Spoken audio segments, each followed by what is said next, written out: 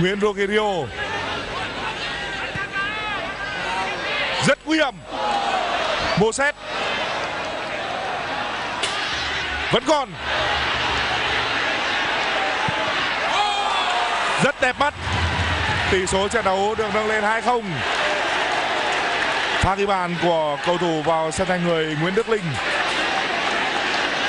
đó là bàn thắng thứ hai ở mùa giải này của cầu thủ 22 tuổi Nguyễn Đức Linh.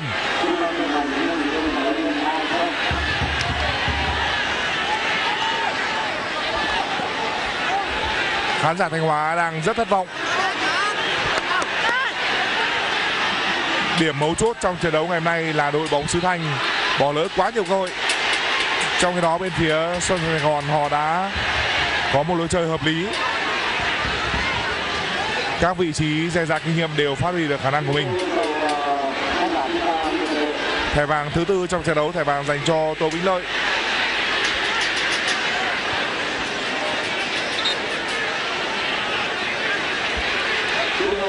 Đến lúc này, mỗi bên đã phải nhận hai thẻ vàng.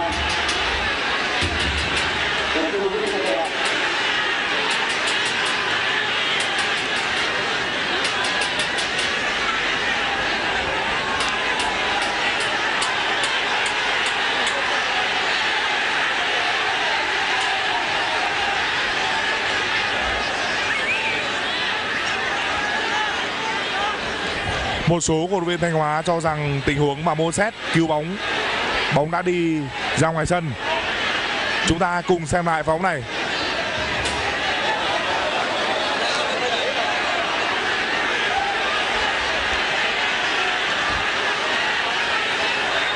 Có một điều chắc chắn đó là phần lớn của bóng ở bên ngoài sân. Tuy nhiên để chắc chắn bóng đã ra ngoài sân thì phải là toàn bộ quả bóng ở bên ngoài sân.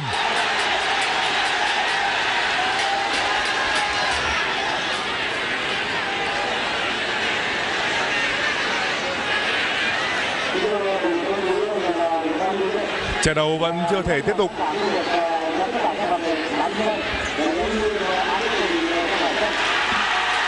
Chúng ta cùng xem một lần nữa tình huống này. Theo chúng tôi thì đã có thời điểm toàn bộ quả bóng ở bên ngoài sân. Đúng là toàn bộ quả bóng ở bên ngoài sân. Đây là một bàn thắng không hợp lệ.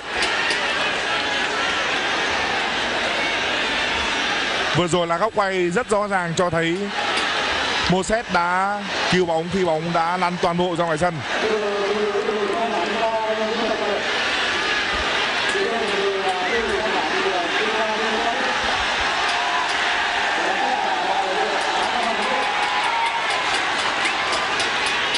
Các cổ động viên của Thanh Hóa đứng ở vị trí quan sát thuận lợi, ngang với vòng cấm địa, đang tỏ ra rất bức xúc.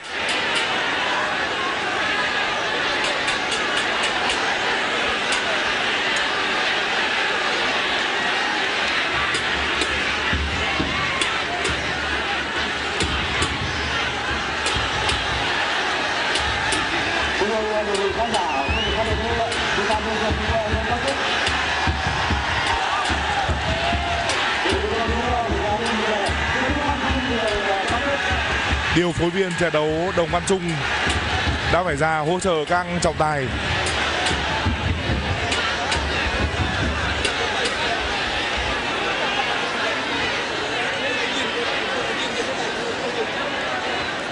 Các cổ động viên ở khán đài B của sân Thanh Hóa từ già đến trẻ đều vẫn đang bức xúc trước bàn thu an vừa rồi.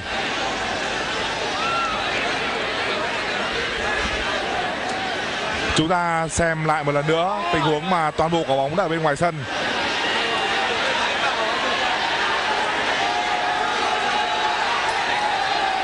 Sau khi bóng được cứu vào trong, Đức Linh đã dứt điểm rất tốt. Cũng phải thông cảm với trợ lý trọng tài khi mà tình huống này diễn ra rất nhanh. Đức Linh dứt điểm quá hay, bóng đi đúng vào góc chết. Và Tô Vĩnh Lợi đánh bó tay. Trợ lý trọng tài Nguyễn Quang Hưng đã không có được sự quan sát tốt nhất.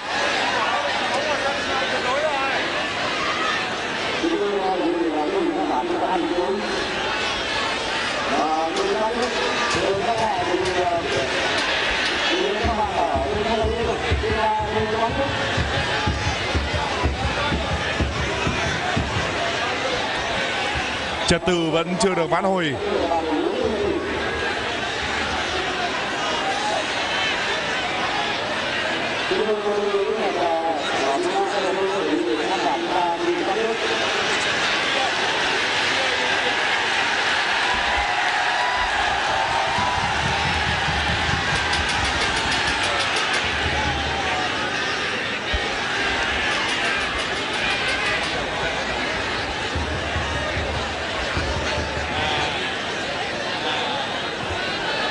Ở vòng đấu sau, trên sân nhà Xuân Thành Sài Gòn gặp Đà Nẵng. Đội bóng cũ của Nguyễn Rogerio trong khi đó, Thanh Hóa thi đấu trên sân của Hoàng Anh Gia Lai. Ở lượt đi, Thanh Hóa đã thắng Hoàng Anh Gia Lai 1-0 trên sân nhà.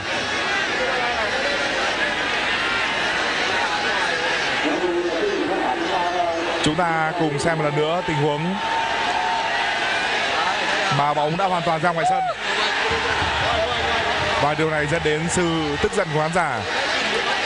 Cho đến bây giờ trận đấu vẫn chưa trở lại được.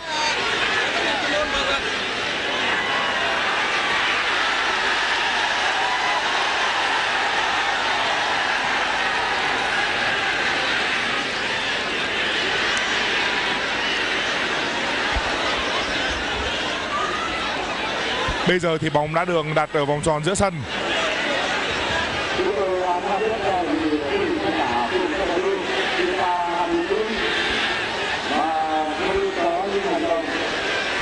Có lẽ hiệp 2 sẽ có nhiều phút bù giờ.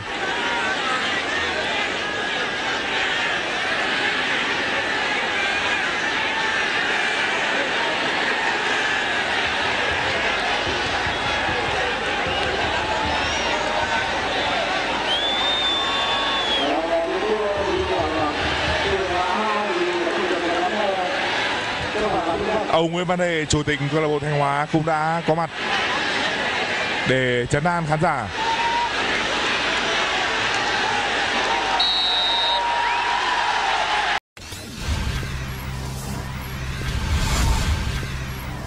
Next Sport, nước đồng hành cùng thể thao Việt Nam trên khắp mọi chặng đường.